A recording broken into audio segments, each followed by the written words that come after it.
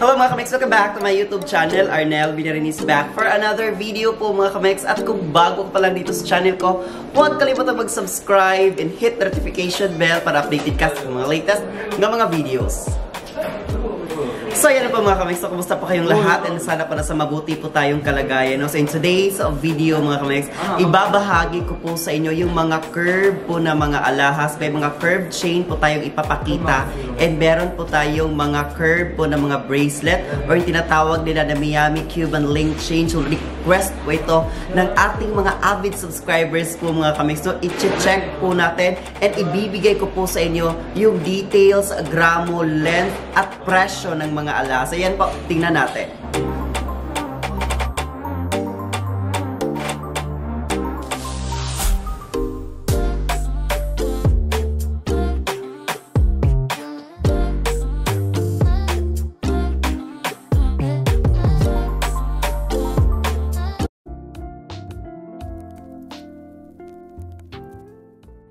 So, na nga po mga kamiks. Nung umpisahan na po natin. So, ang lahat po na ipapakita natin is all in 18 karat mga kamiks. Sa para klaro lang tayo. So, nasa bracelet po tayo ngayon. Nasa harap na po natin ngayon yung unang alas na ibabahagi natin. So, ito yung tinatawag natin na triple lock na alahas. Para siyang Japan style and para po siyang curved chain. Kaya pinakita na natin at binahagi na natin. Ibigay natin yung presyo. This is 2.7 grams. Lightweight lang po ito.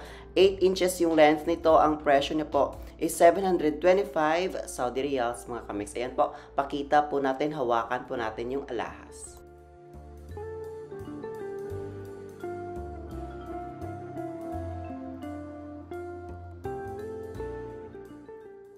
Patuloy tayo sa pangalawang bracelet na ibabahagi natin mga kamiks. No, available po ito lahat. Dito po sa kaibigan natin na gold shop, ang Aliafe Jewelry. Dito po yan sa may Ramania Mall. Ito yung video natin.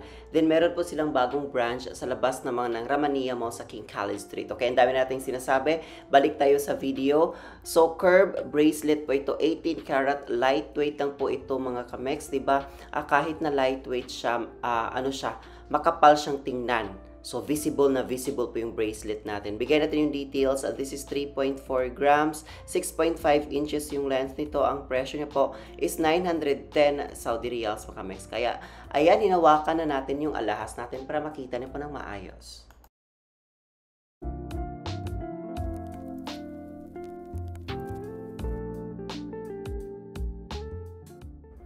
Okay, straight na tayo sa pangatlong uh, bracelet na ibabahagi natin. Nasa harap na po natin ngayon mga kamiks. So, ito po is uh, bagong design po ito dito sa Gold Shop. So, bahagi po ito sa mga trendy na designs natin na alahas, no? Curve pa rin po siya, di ba? Ang ganda niya. Ang ganda na pagkakagawa ng alahas na ito, mga kamiks. And medyo mabigat po siya na alahas. Pero maganda siya. Malapad po talaga siya. So, visible na visible kapag sinuot natin to, okay? Ibigay natin yung details. Uh, this is 8.7 grams.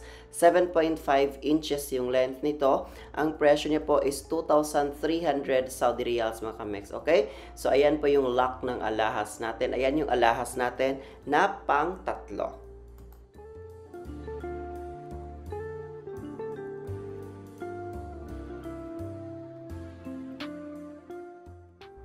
Okay, patuloy tayo, no?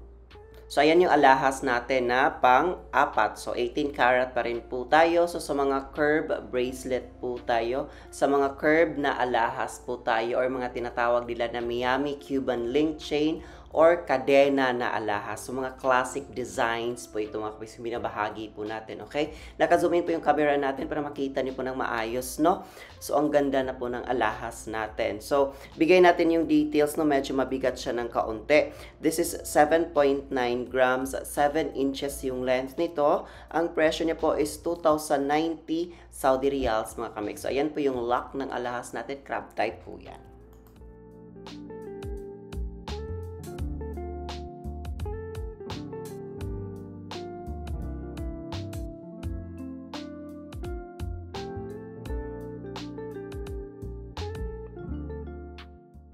Dito naman tayo sa ID bracelet mga kamex, pero curve pa rin po siya or kadena pa rin po yung design. So ID bracelet po ang tawag sa ganito na alahas kasi may bar po siya sa gitna. So pwede po siya sulatan ng whatever po na gusto po natin. Di ba ang ganda ng alahas, no? Ibigay natin yung details. Uh, this is 5.9 grams 8 inches yung length nito. So, mahaba na po siya. So, pwede po ito sa mga kaibigan natin na medyo chubby.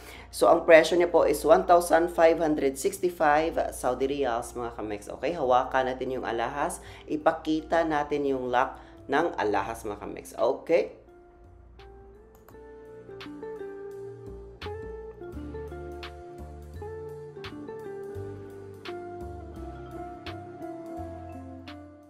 Nasa panghuling alahas na po tayo mga sa ibabahagi natin sa video na ito. So mga bracelet po muna tayo na mga 18 karat na andito sa Gold Shop. Available po yan dito lahat sa Gold Shop mga kamex. So mas malapad po ito na bracelet or ID bracelet compare po doon sa una nating pinakita. And ito po yung alahas na pinakamabigat na bracelet na ibabahagi natin. Okay, nakikita naman po natin, di ba? Malapad po siya na alahas. Ibigay natin yung details. Uh, this is 12.2 grams. 7.5 inches yung length nito. Ang presyo niya po is tumakataginting na 3,230 Saudi Riyals, mga kamex.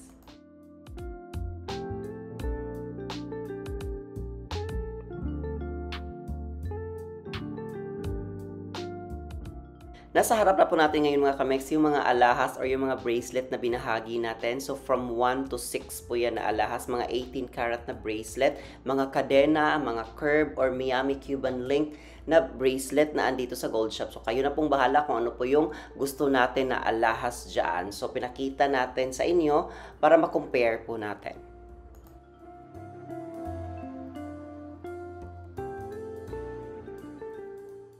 Ngayon naman po, ibabahagi naman natin yung mga necklace naman na mga curve, mga kadena or Miami po na mga designs dito po sa gold shop. So mga 18 karat muna tayo. No? So mamaya-maya na natin isi-share yung mga uh, ah, 21 karat po. So impisa po tayo dito sa mga lightweight na alahas. Okay, nasa harap na natin yung alahas. No? Ang bilis-bilis. So naka-zoom in po yung camera natin mga kamex para makita niyo po ng maayos. ba diba? Ang ganda. So bahagi po ito ng bagong design design po dito sa Gold Shop. Okay, bigay natin yung details. This is 4.9 grams, 22 inches yung haba ng alahas natin. So, maganda yung length niya. Ang presyo niya po is 1,300 Saudi Riyals, mga kamex.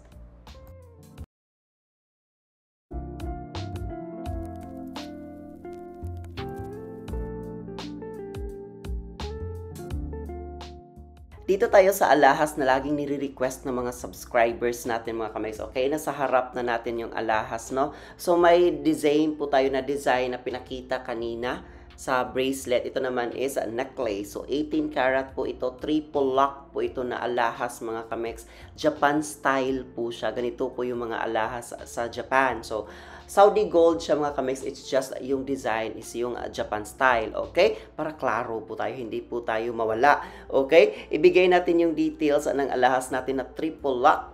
This is 6.2 grams.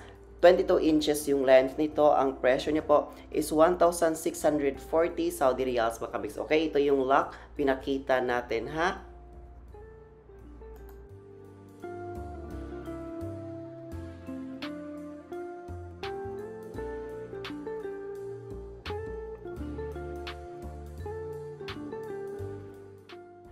Nasa pangatlong alas na tayo mga kamex na ibabahagi natin sa video na ito. Sa mga nagtatanong, available po ito lahat sa Gold Shop. Marami po silang stocks. Okay, para klaro tayo. Okay, nasa harap na natin yung alahas natin mga kamex. No, curve na alahas cadena or Miami Cuban link chain bagong design po ito sa Gold Shop, bagong dating po ito sa Gold Shop. Okay, naka-zoom in po yung camera natin para makita nyo po ng maayos. Okay, ibigay natin yung details. Lightweight lang po siya, hindi po siya masyadong mabigat. Kaya affordable lang po siya na alahas. This is 4.8 grams, 18 inches yung length nito.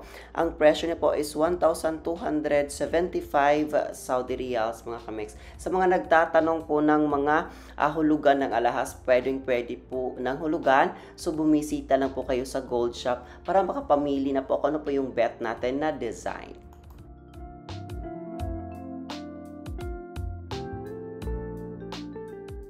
Nasa pang-apat na tayo na alahas mga kamix, no? Okay, nasa harap na po natin ngayon, no? So, necklace po siya na 18 karat na available po dito sa Gold Shop. So, don't worry, sinabi ko po kanina, marami pong stocks dito sa Gold Shop and hopefully po, bumaba pa po ng bumaba yung ginto para may pa-discounts po sila sa Gold Shop. But, kung marami po tayong bibilhin, tsak magbibigay po sila sa atin ng magandang diskwento. Okay, balik po tayo dito sa video. This is curb chain na flat, 18 karat. Solid po ito mga kamex. Okay, naka-zoom in po yung camera natin para makita niyo po ng maayos. Okay, wag nating patagalin. Ibigay natin yung details. Hindi po siya masyadong mabigat. So, carry lang po sa budget natin. This is 7.6 grams, 22 inches yung length nito. Ang presyo niya po is 2,015 Saudi Riyals, mga kamex. Pakita ka din sa inyo yung lock ng alahas natin. So, maganda po din yung lock ng alahas na binahagi natin, no?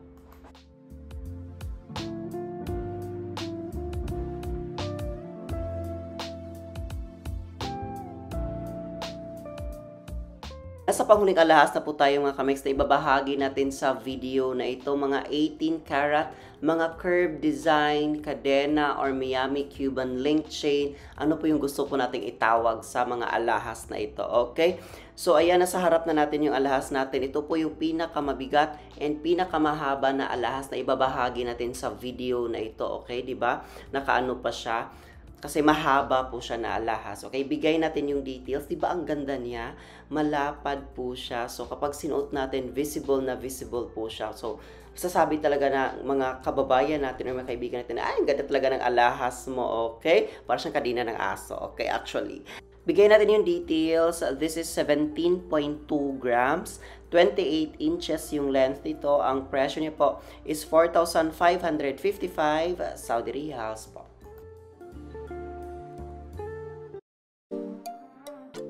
Alright mga kamex, nasa harap na po natin ngayon yung mga alahas na pinakita natin from 1 to 5 po yan, 18 karat na necklace po na mga curve, Miami or kadena na alas na nandito sa Gold Shop. Available po yan dito lahat sa Gold Shop, okay? Sa mga nagtatanong po ng hulugan, bumisita lang po kayo sa Gold Shop. Pwede din po sila na uh, customized na mga alahas. I-approach nyo lang po yung mga salesperson na andun, mababait po yan, okay? So yan yung alahas natin mga kamex, kayo na pong bahala dyan kung ano po yung uh, design na bet natin.